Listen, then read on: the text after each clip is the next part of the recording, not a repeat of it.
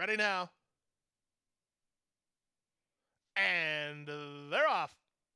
On the far outside, Monforte ridden for the early lead, and he'll get it with not much problem. From second, it's Noble Indy over the channel at the rail third.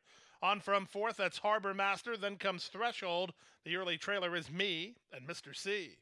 In the charge around the first turn, Paco Lopez puts Monforte right where he wants to be, on the lead, and in front by two and a half. Noble Indy is together with an inside running over the channel. They're second and third. Monforte's out in the three lane there.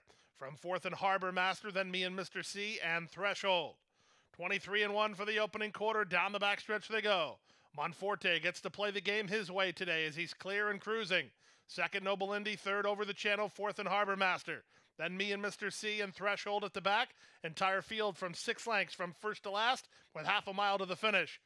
Monforte leads, and he leads by a length and a half. He went 46 seconds for the opening half mile. This is the way he does business as he ends at the far turn on top of length and a quarter.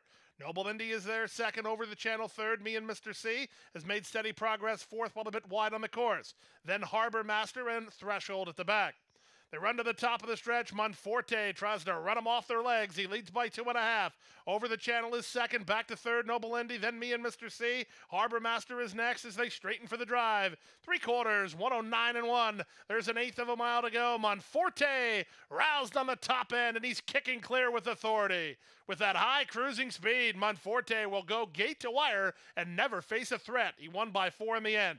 Over the channel was second, up third, me and Mr. C. Then it was Noble Indy, 132 and 3.